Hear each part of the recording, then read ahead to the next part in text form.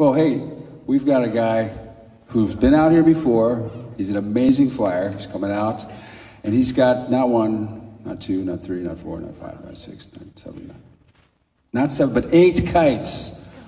Eight kites are all going to be flown indoors by Mr. Spence Waddy Watson. So I don't want to make him wait any longer. All these kites are sitting there. They're ready to fly. Ladies and gentlemen, Waddy.